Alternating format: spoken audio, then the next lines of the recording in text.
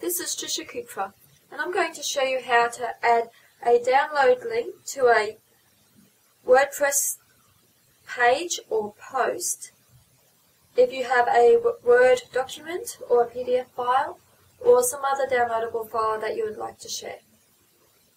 Click on the Add Media icon next to Upload and Insert. It's the last icon on the right. Select the file you want to upload from your computer.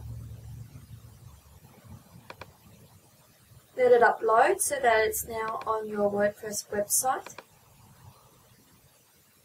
Make sure file URL is checked.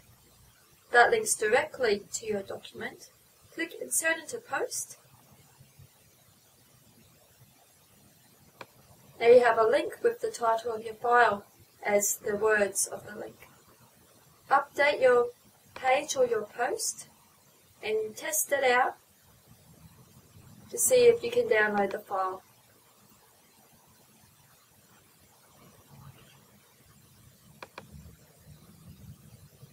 Thank you for watching.